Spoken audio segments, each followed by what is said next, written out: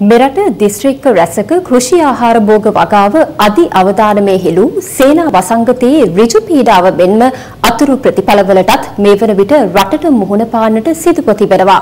අද red alert වෙන්වන්නේ ඒ පිළිබඳව විමසා බැලීමටයි.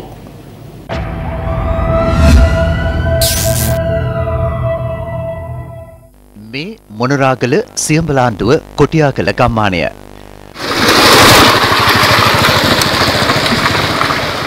ගම්මානයේ කාර්ය බහුලම ස්ථානය වූ මේ කඩපිල මෙලෙස පාළුවට ගොස් ඇත්තේ සේනා තලඹුවා කොටියාගලට කළ විනාශයේ අතුරු ප්‍රතිඵලයක් ලෙසයි. අයියේ කඩේ වහන්න දෙන්නේ කඩේට බඩු ගේන්න දැන් සල්ලි. තිබ්බ බඩු ඔක්කොම මිනිස්සුන්ට ණයට දුන්නා. කඩේ මොකද ඉවරයිනේ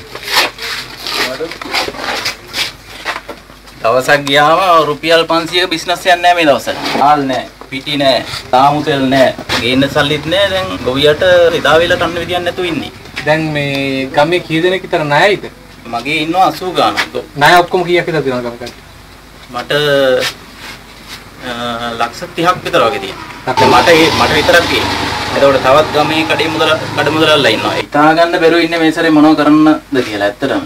ඒ තරම් පුදුම විදියට මේ ව්‍යසනයක් වෙලා තියෙන්නේ මේ අවුරුද්ද. දැන් මමත් මමත් දැන් මේ ඉඩම මේ බැංකුවට උකස් කරලා උකස් කරලා බැංකුවෙන් ණය අරන් තියෙනවා.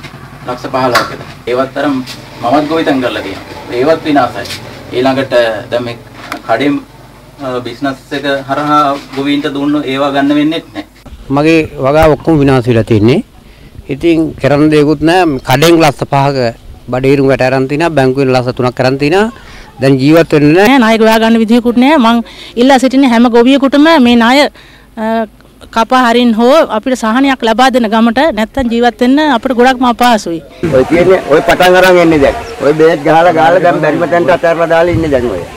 මෙතෙක් වාර්තාන වූ පොළොන්නරුව දිස්ත්‍රික්කය තුළද සේනා දළඹුවා හිස ඔසවමින් ඇති බවට ගම්මැද්ද සමීක්ෂණ කණ්ඩායම දිමුලාගල මහවැලි සීකලාපයේ කජුවත්ත ගම්මානයේ අද කළ සංචාරයේදී දක්නට ලැබුණා.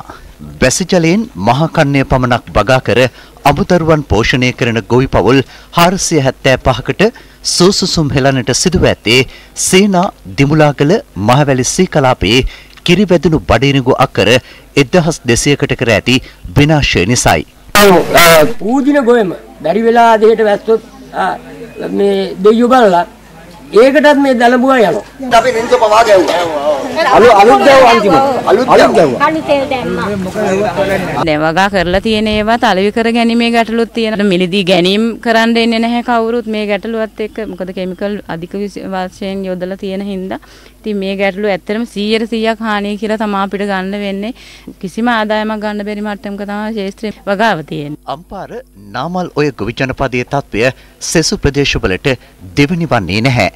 විශාල බයකුත් තියෙනවා ගොයමටත් බෝ වෙයි කියලා මේ කුමිහානිය බඩේනකු සම්පූර්ණ විනාශයි එක කරලේ පණුව හතර පහ දෙනා පොදි වැදිලා ඉන්නවා දවස් ගාණක් බෙහෙත්ම ගහලා තියෙනවා කියන කුස්කර නිදේ මාත් ඇවිල්ලා කියන කියන බෙහෙත අපි ගහලා තියෙනවා මෙච්චර ඉස්සෙල්ලා කිව්වා අලු ගහන්න කියලා. ඒ පාර අලු ගැව්වා.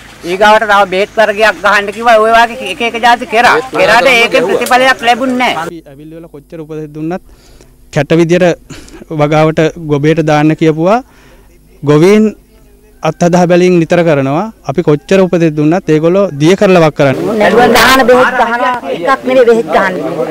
ගහලා ගහලා දවස් දෙකක් තුනක් යනකොට ඉවරයි මහත්තයා. ආයෙ පටන්ගෙන යනවා.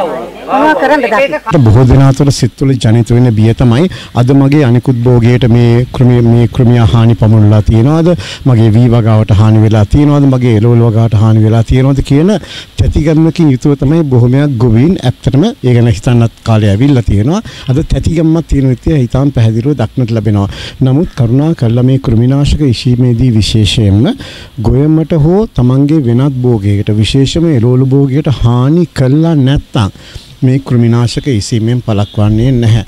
ඒ හින්දා නැනවත්ව මේ ගැන කලබලකාරීවීමකින් තොරව නිවැරදි තාක්ෂණය පාවිච්චි කරන්න කියන එක තමයි මට විශේෂයෙන්ම මේ අවස්ථාවේදී කියන්න කියලා තියෙනවා.